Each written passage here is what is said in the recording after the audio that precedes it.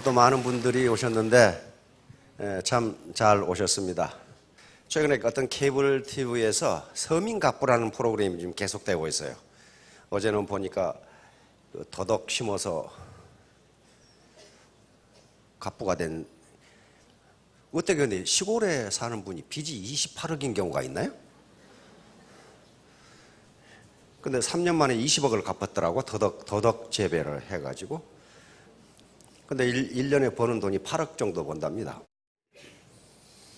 그런데 야, 그 사람 많이 번다. 그렇게 생각하실 수 있는데 그 프로그램이 지금 계속되죠.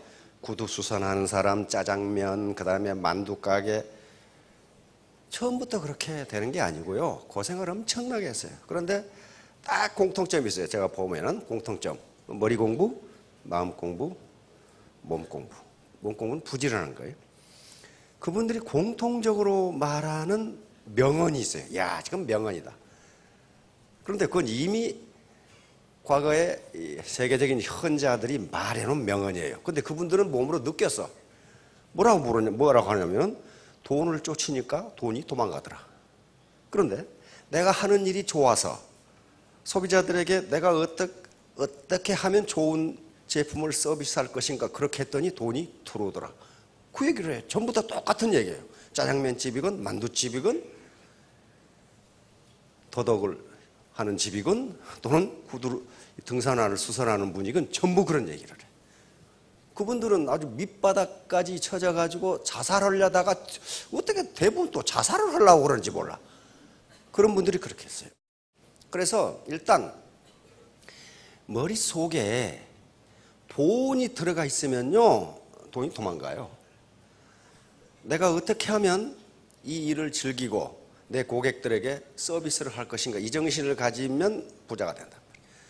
에, 오늘 제가 하려고 하는 강의는요 나비 효과입니다.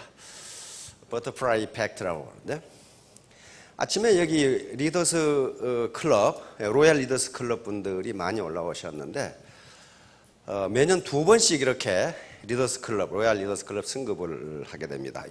전반기 후반기 이번 후반기에도 많은 분들이 리더스 클럽에 또 올라오셨어요. 2억 이상이 돼가지고. 그래서 지금 리더스 클럽이 예, 총 70명입니다. 그러니까 이게 대형 은행에도 그렇지가 않습니다.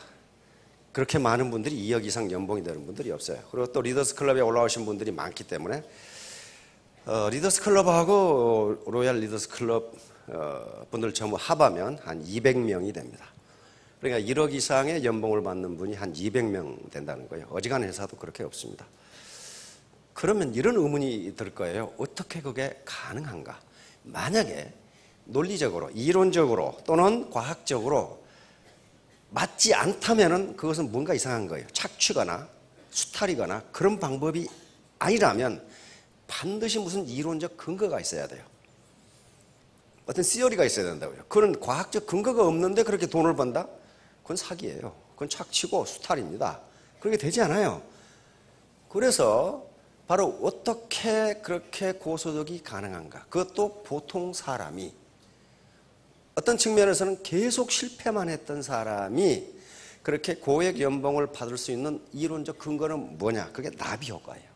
나비 효과라는 게 나비 효과, butterfly effect라고 하는 butterfly가 나비니까 butterfly effect라고 하는 나비 효과라는 효과입니다. 나비 효과라고 하는 것은 결론적으로 말하면 초기 조건의 작은 차이가 큰 결과의 차이를 가져온다는 거거든요. 자, 우선 작년은 무슨 해였어요? 예, 청마의 해였습니다. 금년은 청양의 해입니다. 푸른 양의 해예요. 작년이 갑오년이었고 금년이 을미년이죠. 예, 작년이 갑오 갑오년이었고 갑오년이었고 금년이 을미년입니다. 예, 이 5는 말이니까 이건 천간이고 어, 천간이고 지지입니다. 미는 양이니까 을미년은 청양의 해인데요. 그게 청양이냐 백양이냐 안 그러면 붉은 양이냐를 어떻게 결정하느냐 그건 오행 분류표를 가지고 보시면 금방 합니다. 이게 오행 분류표인데요. 갑, 을이 어예요. 색이 청이죠. 청색이니까 작년에 갑오년이고 금년에 을미년이니까 예, 둘다 청입니다. 청이고 작년에는 갑오 그러니까 푸른 말이고 금년에는 갑 을미가 되니까 푸른 양이 돼요. 푸른 양. 그런데 우리 사회가 음양오행으로 음양오행을 굉장히 많이 쓰고 있는데 우리는 사실 잘 몰라요 그걸. 그런데 그냥 쓰고 있어요. 예를 들면 우리 요일이 바로 음양오행이죠. 월과 일은 음과 양이에요. 일이 음이고 월이 양, 저, 저, 일이 양이고 해가 달이 음이거든요. 그래서 음양. 그 다음에 예, 화수, 목금, 토. 요게 오행이에요. 그러니까 음양 오행이 매일 이렇게 돌아가는 거예요. 그런데 여기서 음과 양은 선과 악처럼 대립적인 개념이 아니고 상호 보완적이고 협조적인 즉 조화를 이루어야 하는 개념입니다. 서양의 선악하고 음양하고는 전혀 개념이 달라요.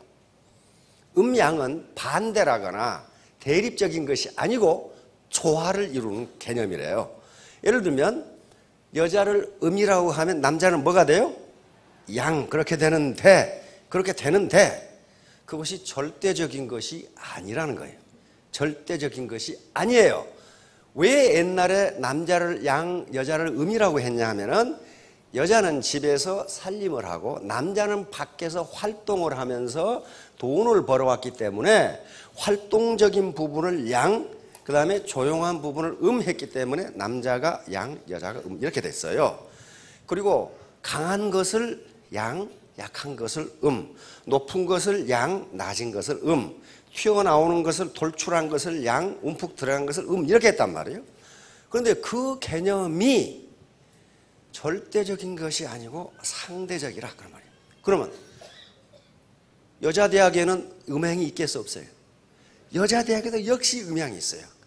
활발한 여학생이 양이 되고 얌전한 여학생이 음이 돼요. 이렇게 어울리는 거예요. 마찬가지로 불은 물하고 비교하면 양인데 촛불하고 촛불하고 요 난로불하고는 뭐가 세요? 난로불이 세기 때문에 그게 양이 되고 촛불이 음이 돼요. 이런 식으로 상대적인 개념이에요. 그래서 예를 들면 높은 산은 음이, 양이 되고 계곡은 음이 돼요. 그러면 두 개가 대립하는 것이냐 하면은 조화를 이루어야 된다. 그런 개념이에요. 그러니까 터미 라인에 남자 사장님들, 여자 사장님들이 계시는데 이게 대립의 개념이 아니고 조화의 개념이라는 거예요. 조화의 개념. 또 성격이 활발한 분이 있고 성격이 좀 내성적인 분이 있는데 이것도 서로 틀린 것이 아니고 다른 것이고 서로 조화를 이루면 된다는 거예요. 조화를 못 이루면 어떻게 되냐? 반드시 병이 나요. 반드시 병이 난다고. 예를 들면 남자가 정년 퇴임하기 전에 사회 나가서 열심히 사회 활동을 하고 돈을 벌었어. 그리고 부인은 집에서 살림을 하고 전업주부로 살았어. 그러면 양과 음이 명확하죠. 남자가 양이고 여자가 음이에요. 그런데 이 영감탱이가 정년 퇴임을 하고 방구석에 틀어 앉으면 그때부터 여자는 사회활동이 시작돼. 동네 모임도 가야 되고 동사무소에서 사는 춤도 추러 가야 되고 노래방에도 가야 되고 개 모임도 가야 되고 이때부터 여자는 활발해져요. 그러면 어떻게 돼요? 음향이 바뀌어요. 음향이 바뀌어요. 젊은 시절에도 집에서 남편이 백수로 있고 여자가 밖에서 돈을 벌면은 여자가 양이 되고 남자가 음이 됩니다. 그 경우에 조화를 이루면 음이 음인 것을 인정하고 양이 양인 것을 인정해주면 그 가정은 깨지지 않습니다.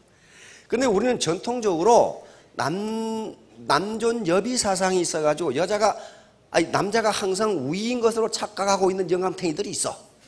그 경우에는 반드시 헤어져요. 반드시 헤어져. 여자가 돈을 더 많이 벌면은 여자가 양이 되고 남자가 음이 돼야 돼요. 그래서 그걸 인정해버리면 가정이 안 깨지는데 옆에 내가 돈 좀 번다고 말이야. 이렇게 나오면 그 깨지게 돼 있어요. 황혼 유언이 많은 게 그것 때문에 그렇습니다. 서로 이해를 못 해. 예를 들면 정년퇴임 해가지고 지금 부인은 지금 동사무소에서 하는 노래방에 가야 되는데 담배 가져와라, 채돌이 가져와라, 물 떠와라, 신문 가져와라. 영감탱이가 뒷골 뒷방에 앉아서 계속 그래. 그럼 몇 개는 시중을 들어줘. 지금 빨리 가야 되는데. 신문 가져와. 그럼 뭐라고 그래? 영감탱이 당신은 발이 없어 손이 없어 이렇게 나오기 시작하면 이제 그게 음향을 음향이 조화가 안 되니까 그래요. 항상 남편이 밖에서 일하고 돈 벌어 올 때는 그 부인이 다 들어줬어요. 그것은 음으로서의 역할을 한 거예요. 그러면 이제 정년 퇴임해서 뒷방에 앉아 있으면 지가 담배 갖다 피우고 그래야 돼.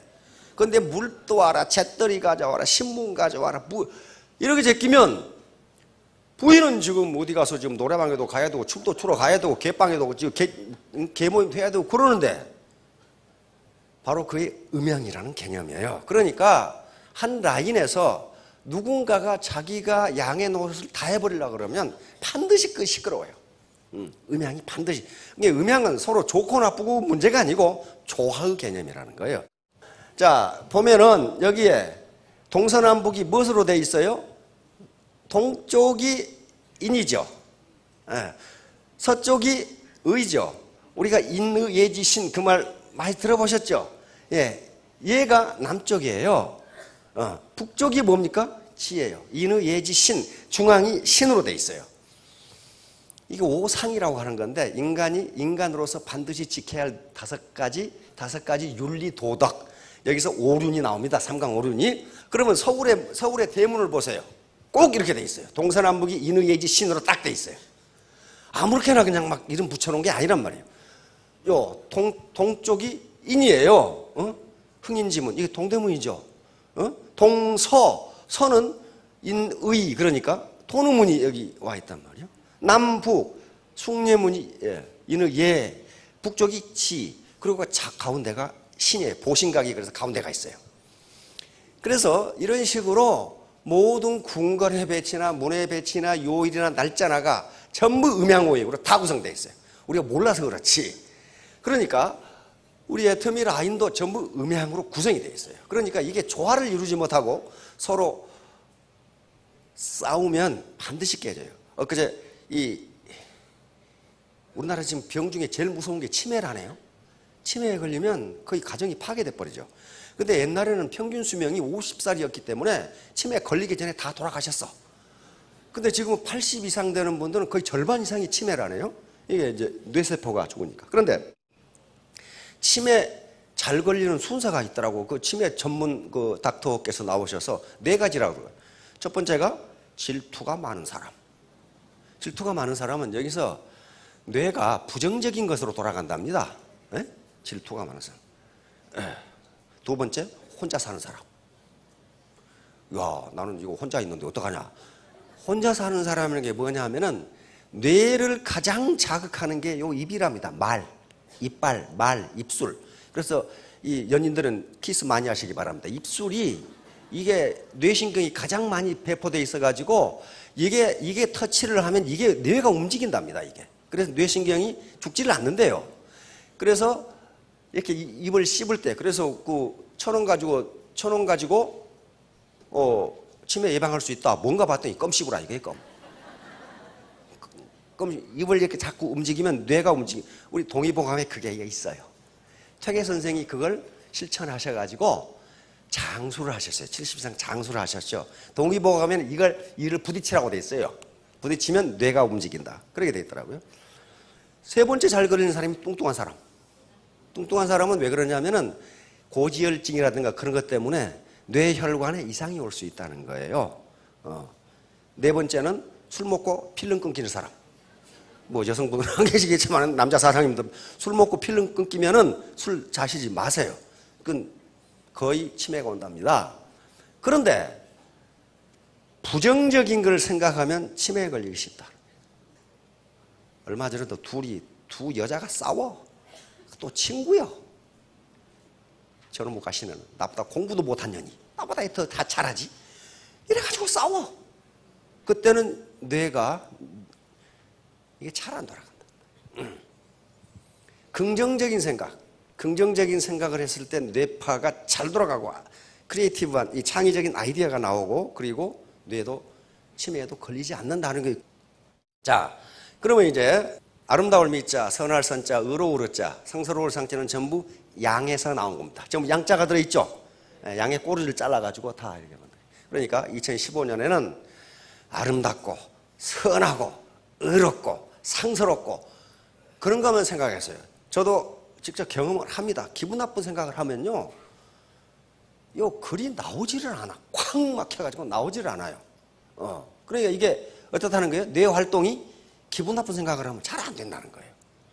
또 어떤 놈 그 화가 나가지고 그 자식 때려 죽일 놈 이렇게 하면 이게 안 나와. 안 나와요.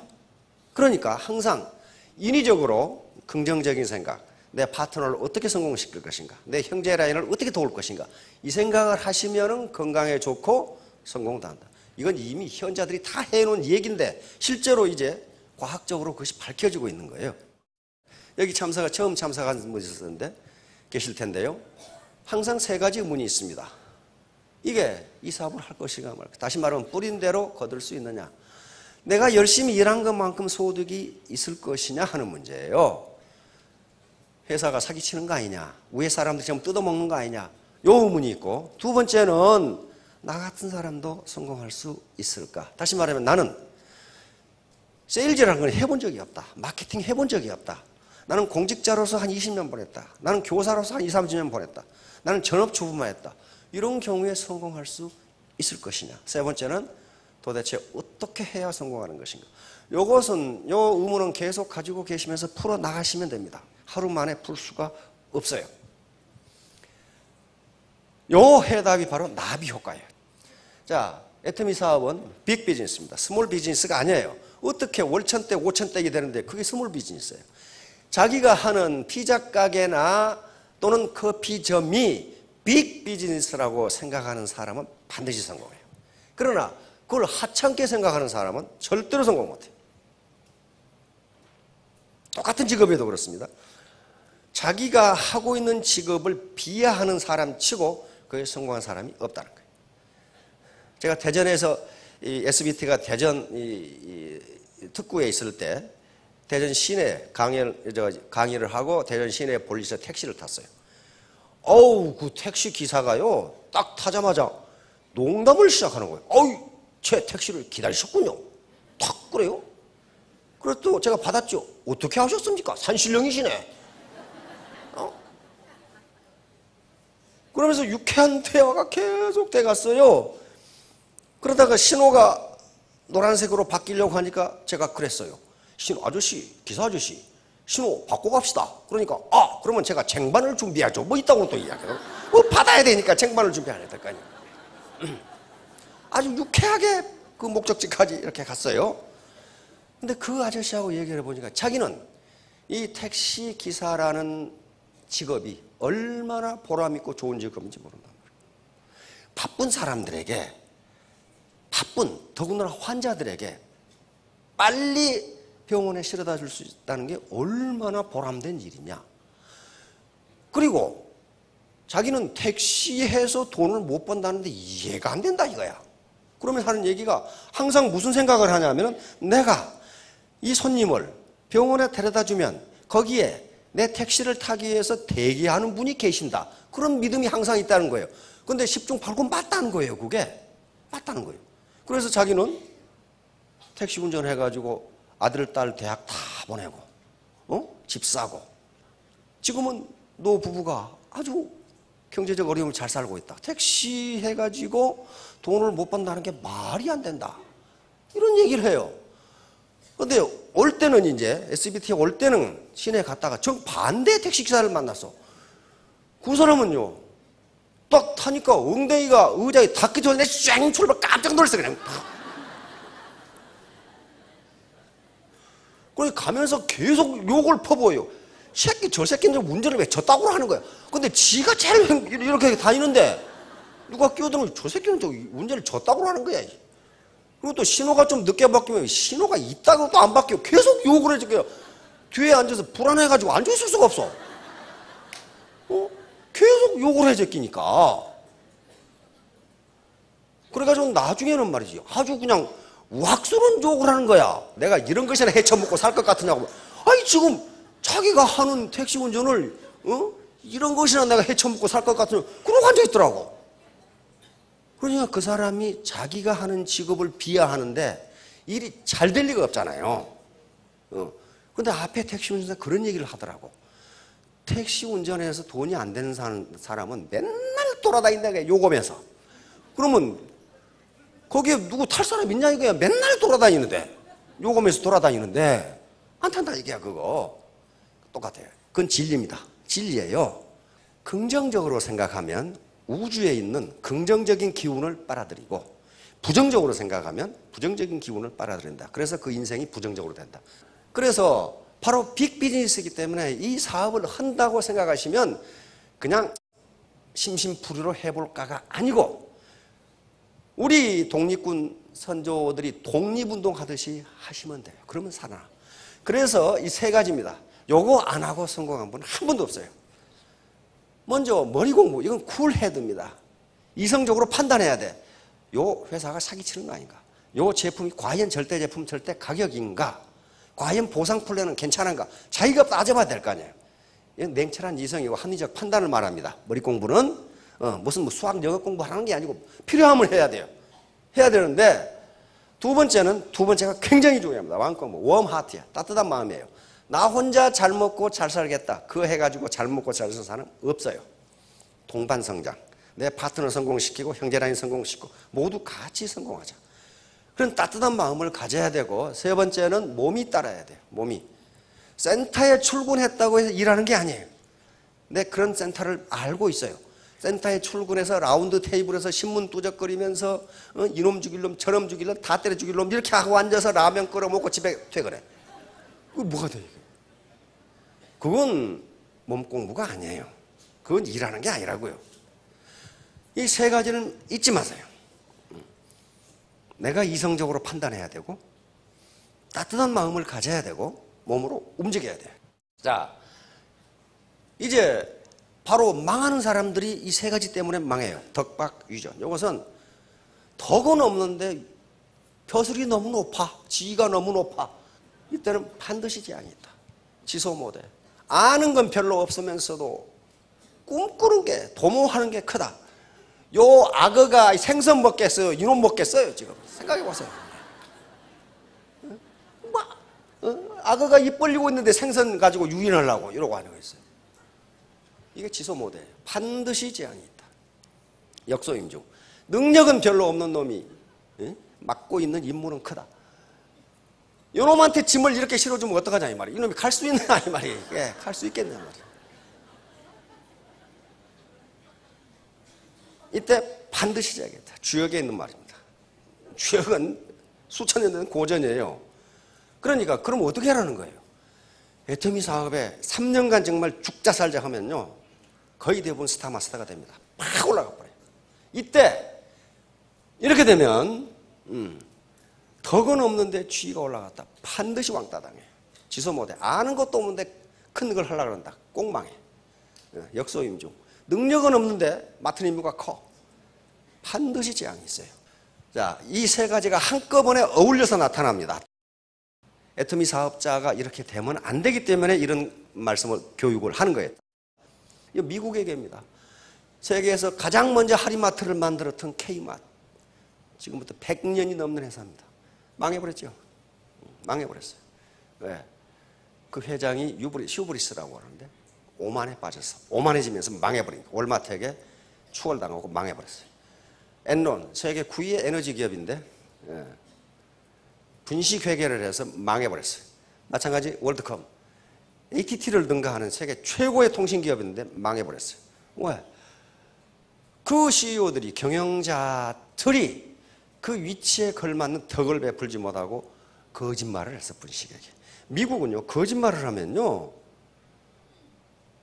분식회계를 한다든가, 거짓말을 하면 그냥 가석방하는 것이 아니고 망해버려요. 완전히 망. 이 회사들을 회계감사했던 앤더슨이라는 회사는 130년 된 회계 회사인데 문 닫았습니다. 파산해 버렸어요. 미국 정부에서 거기서도 다단계 저 저 이 펀드 펀드를 돌린 사람이 있죠.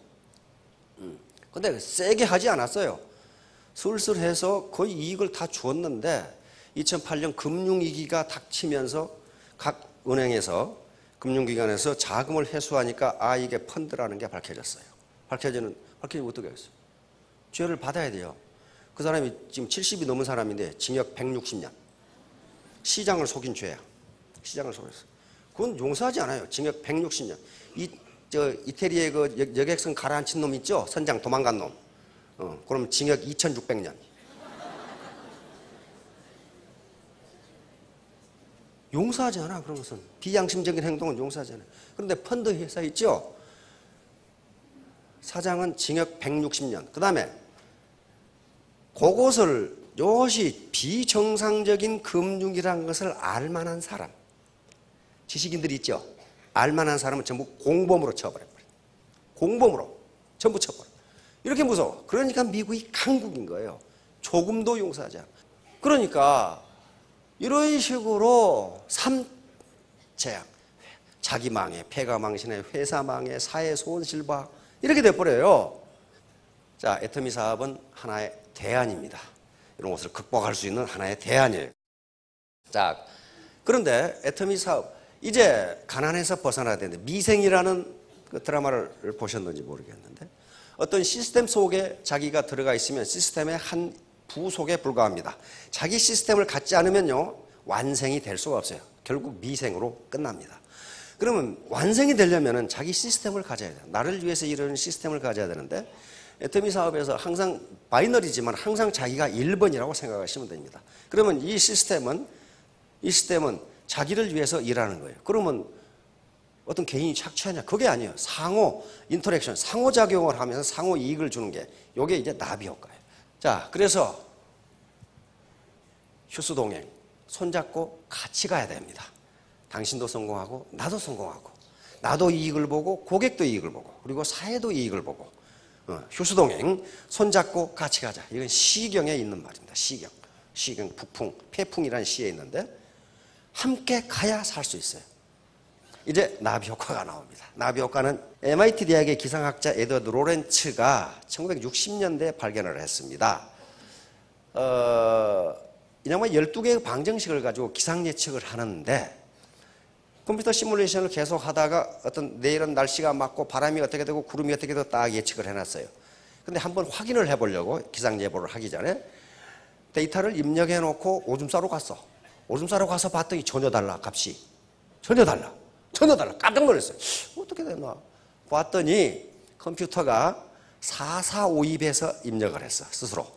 그런데 그 차이라는 것이 0.00027밖에 안 되는데 내일의 날씨 결과는 완전히 달라요. 깜짝 놀라서 여기서 이제 기상학과에서 논문을 발표합니다. 아마존에서 나비의 날개짓이 한 달 후에 텍사스에서 폭풍을 일으킬 수도 있다. 그래서 이 효과를 나비 효과라고 이름을 붙였습니다. 다시 말하면 초기 조건의 조그마한 차이가 엄청난 결과의 차이를 가져온다. 음, 결과의 차이를 가져. 처음에는 미미하지만 나중은 창대하리라 이렇게 돼버린 거예요 지금. 그래서 이 세계 최고 기상학자인데 어떤 결론을 내렸냐 하면은 일기예보를 정확하게 하는 것은 불가능하다. 이렇게 불가능하다. 왜? 어느 6대륙, 5대주, 6대륙 어느 곳에서 무슨 사건이 일어나는지를 알 수가 없다는 거예요. 정확하게 알 수가 없어. 그것 때문에 기후가 완전히 변한다는 거예요. 자, 그래서 뭐, 나비 효과라는 영화도 있죠. 조그마한 원인의 차이가 엄청나게 큰 결과의 차이를 가져온다는 거예요. 자, 요게 일상에서 일어나는 나비 효과예요. 양궁, 사격. 이거 아주 보통 선수들이 아니에요. 10m 있는 관역을 쏘는데 자기는 똑같이 쐈다고 생각하지만은 초기 조건이 다르다는 거예요. 아주 우리가 알 수 없는 초기 조건이 달라. 뭐가 달라요? 숨을 어떻게 쉬었는가? 손가락에 땀이 얼마나 났는가? 그 당시 바람이 어떻게 됐는가? 기온이 어떻게 됐나? 습도가 어떻게 됐나? 이게 조그만 차이가 있어도 맞지가 않는다는 거예요. 그러니까 이게 나비 효과예요. 초기 조건에 조그마한 차이가 커다란 결과의 차이를 가져온다. 이 클레오파트라 알죠? 클레오파트라고 코가 조그만 낮았더라면 세계 역사가 바뀌었을 거다. 바뀌었을 거예요. 시저나 안토 어? 저 안토니오가 클레오파트라한테 빠져가지고 완전히 죽을 썼죠. 콧대가 보통 높은 여자가 아니거든. 콧대를 조금만 낮췄으라면 괜찮을 건데. 이거 뭐예요? 엊그제도 또 항공기 사고 저기서 났었죠. 그런데 그 기사를 가만히 보세요. 누구누구는 비행기를 타러 가다가 교통이 신호등에 걸려서 못 가가지고 살았다. 그 말이죠. 조그만 불과 1분의 차이가 목숨을 왔다 갔다 시켜. 초기 조건의 조그마한 차이가 커다란 결과의 차이를 가져온다고요.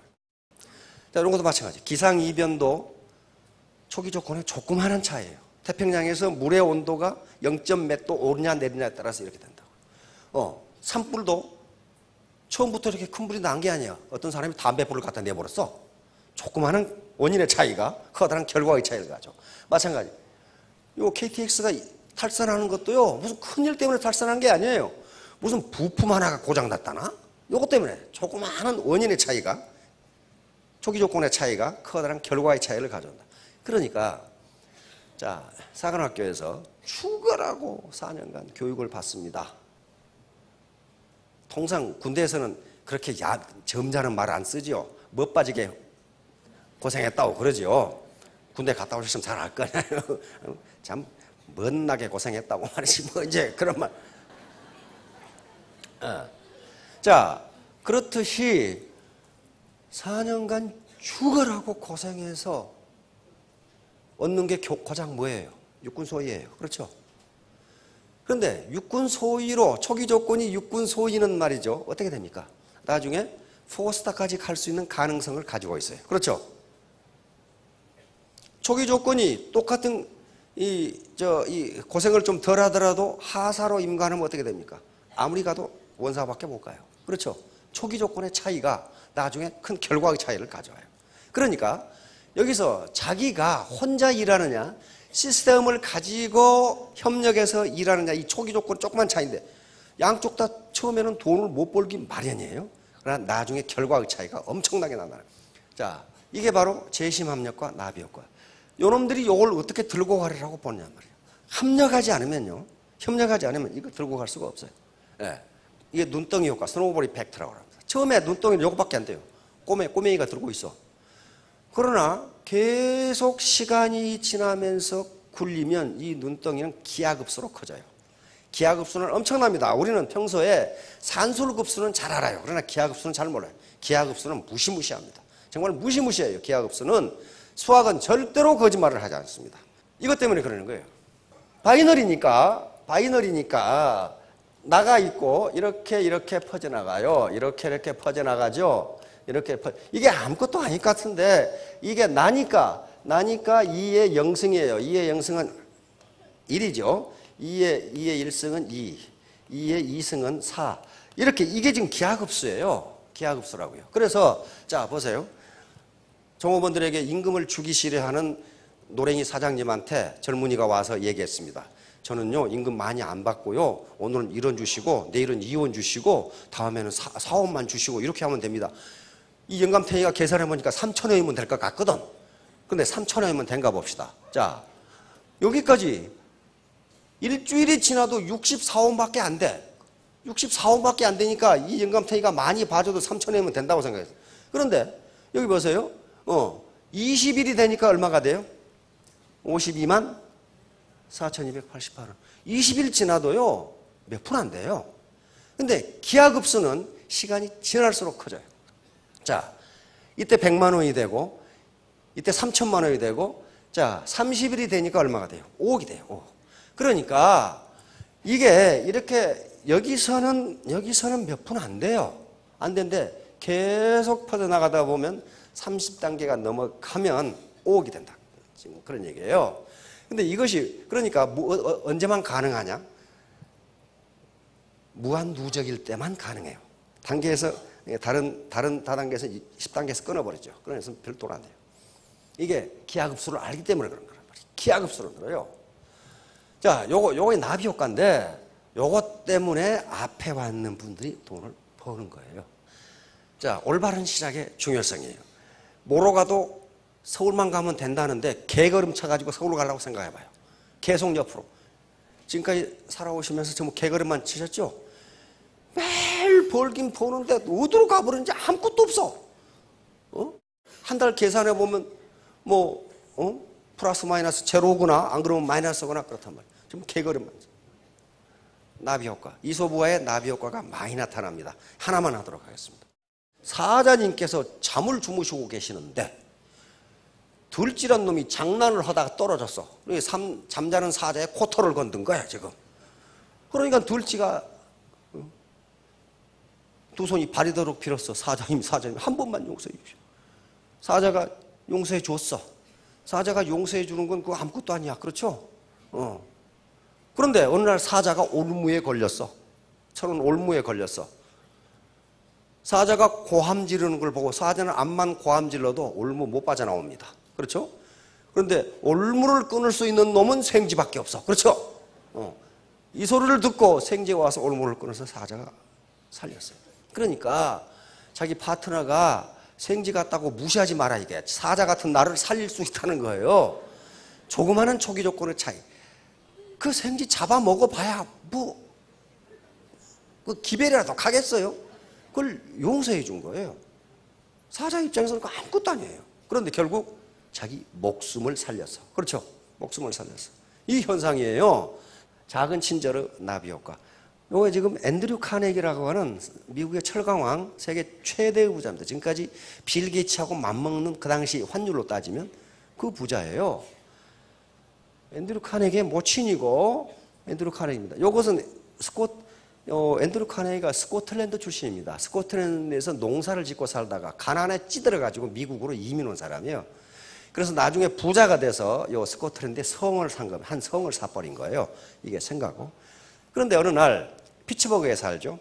피츠버그에 비가 막 소나기가 퍼붓는데 한 백화점에 다리를 쩔뚝쩔뚝 저는 할머니가 들어왔어. 비를 철철 맞고. 그러면 어떡하겠어요? 백화점에 들어오니까 다른 종업원들은 저 뭐 구매력도 없어 보이는 말이지 물건도 안 살 것 같은 거지 할망구가 들어오니까 전부 싫어했어. 그런데 한 청년, 그 청년이 페리란 제임스 페리라는 청년인데 그 페리는 근본적으로 어떤 인도주의적 어떤 친절성을 몸에 밴 친절이 있는 그 젊은 청년, 22살 먹은 청년인데 이 청년이 할머니에게 의자를 권해드리고 음, 비가 그칠 때까지 편히 쉬었다 가시라. 이러고 백화점을 안내해드리고 이렇게 했어요. 그래서 그 할머니가 어, 그 총각 명함을 하나 달라고 해서 명함을 가지고 갔어. 근데 한 달 뒤에 그 백화점 사장에게 편지가 왔어. 어. 스코틀랜드 성을 장식할 테니까 스코틀랜드 성에 가서 물건을 주문받으시라. 근데 그걸 계산해 보니까 이 백화점에 2년 이익이야. 그런데 그때 페리라는 청년을 반드시 보내라. 그리고 카네기 회사의 다음 분기 물품을 당신 백화점에서 구매할 테니 계약을 체결하자. 그때 페리라는 청년이 반드시 계약을 해야 된다. 이렇게 된 거야. 근데 그게 다 몇 년치 이익이야, 지금 이 백화점에. 그래서 이 사장은 도대체 일이 지금 어떻게 돌아가는 건지 알 수가 없어. 그, 누군지도 모르겠고. 알고 보니까 카네기의 모친이야. 그 세계 억만장자의 할머니 겉모양만 보고 전부 다 우스꽝스럽게 생각했는데 그래서 결국은 그 페리라는 청년은 즉각 그 백화점의 이사가 되고 그 다음에 카네기 철강회사에서 스카우트해서 카네기 다음 가는 부자가 돼버립니다. 단 조그만한 친절 하나예요. 의자 하나 내준 것 뿐이야. 의자 하나 내준 것 뿐이라고요. 그게 겁으로 만들어버린 거예요. 겁으로. 근데 카네기는 이게 마마 보이거든요.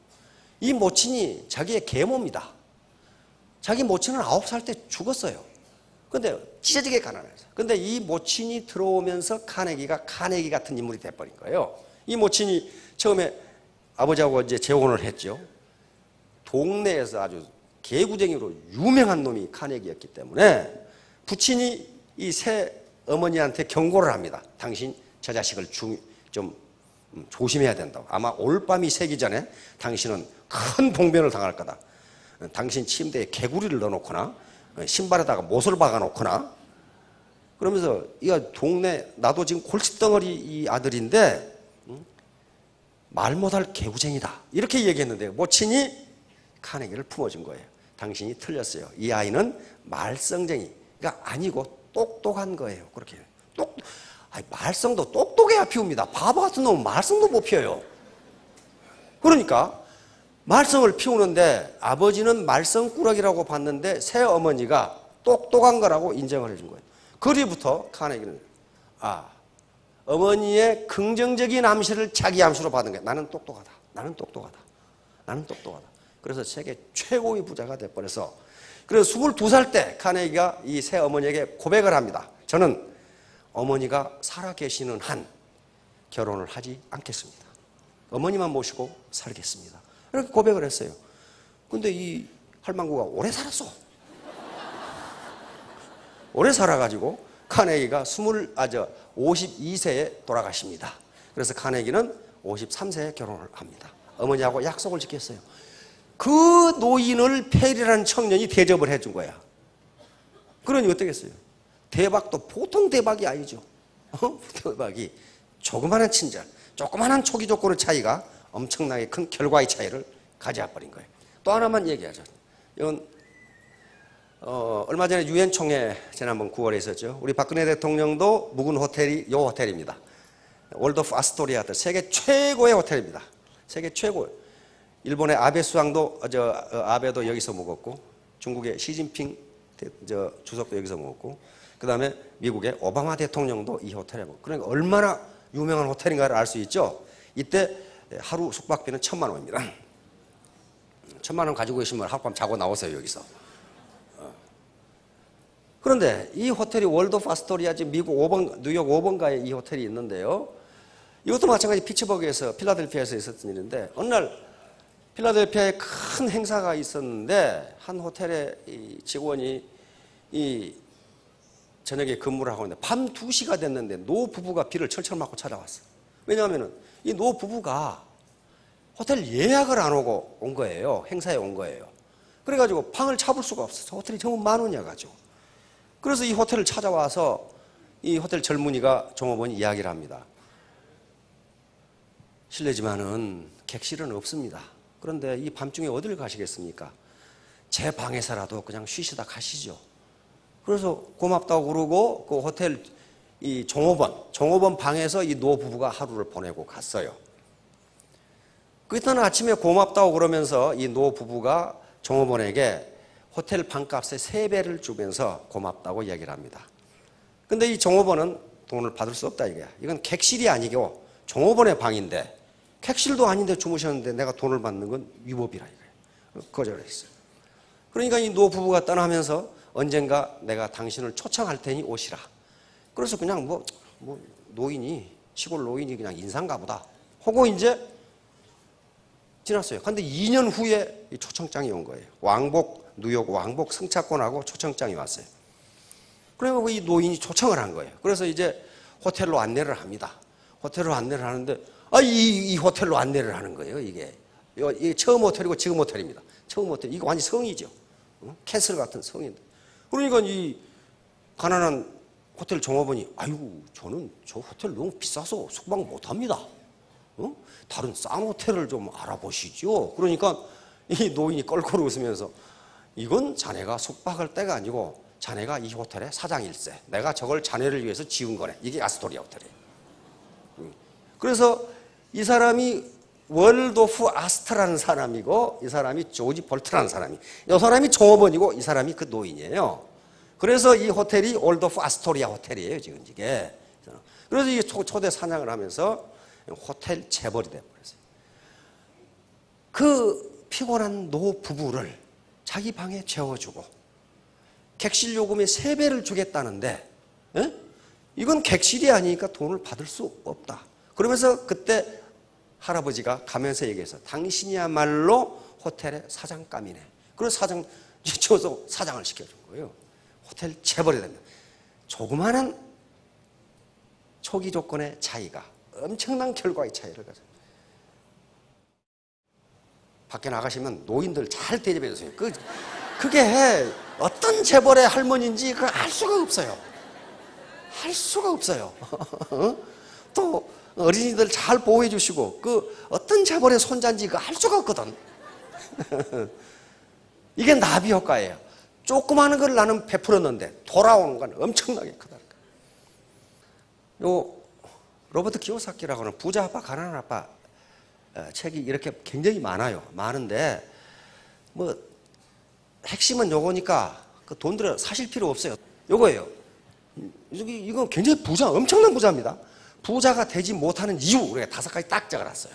어디 두려움 실패하지 않을까? 두려워하지 않을까? 손해 보지 않을까? 이렇게 지체하다가 아무것도 못한다.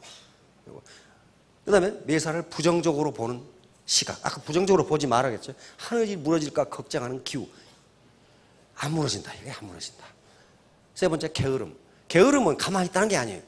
중요한 것을 안 하고 중요하지 않은 것만 계속 바쁘게 돌아간다. 동네 개모임 무슨 말이 동창회 뭐 계속 돌아다니다. 중요한 건 하지 않고. 그 다음에 나쁜 습관. 오늘 할 일을 내일로 미루는 습관. 뭘 부정적으로 보는 습관. 누구를 헐뜯는 습관. 이런 거. 마지막으로 거만함. 거만함은 배우지 않는 것을 거만함이라고 이 사람은 정의를 합니다. 자기가 다 안다고 생각하는 거. 이런 것도, 근데 요거 보세요. 이게 뭐 좋은 학교 나와야 이거 할 수 있습니까? 이 사람이 말하는 건 태도예요. 정신적 태도가 당신을 부자로 만들느냐? 아니다. 네, attitude everything이에요. 태도가 전부 다가 다 들어오고 있잖아요. 이 사람이 한 말이거든요. 폴 마이어라는 사람. 미국 40, 100대 부자 중 한 사람입니다. 이거 노숙자였거든. 노숙자인데 지금 기업을 40개나 거느리고 있는 100대 부자 중. 이 사람이 자기가 왜 성공했는지를 연구하는, 연구하는 회사를 만들었어요. 그 SMI라고 회사인데 우리나라에 와 있어요. 보니까 내 정신 상태가 바뀌었다. 나는 노숙자로 산다고만 생각했는데 나라고 성공 못하느냐 그렇게 바뀌었다는 거예요. 가난하게 늙는 것은 당신 잘못이다. 가난하게 태어난 것은 당신 잘못이 아니다. 자기 잘못 아니죠. 그러나 가난하게 늙는 것은 당신 잘못이다. 요거에 예, 정신 상태가 글렀다. 결론입니다. attitude, 태도가 전부입니다. 여기에 자신의 능력은 1%만 있으면 되고요. 나머지 99%는 같이 같이 하면 성공하십니다. 자, 3년 뒤, 5년 뒤에 모두 Star Master, Royal Master가 되시기 바랍니다. 예, 감사합니다.